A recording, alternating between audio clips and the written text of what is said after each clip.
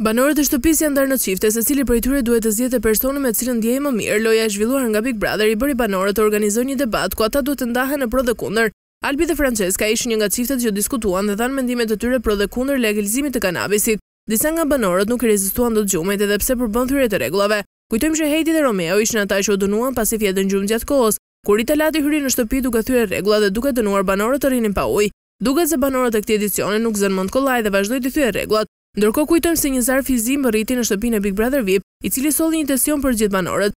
Zarfi i cili u hap mbante në të emrin e një konkurrenti që shkoi direkt në televotim, bëhet fjalë për Gazin, i cili pasi komentoi për nominimet gjatë këtyre ditëve me banorët, produksioni mori një vendim dhe e dërgoi direkt në televotim për shkak të thyerjes së rregullave.